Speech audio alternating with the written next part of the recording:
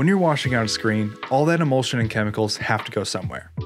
Without some kind of filter between your washout booth and your pipes, this is the kind of stuff that gunks up the sides of your plumbing.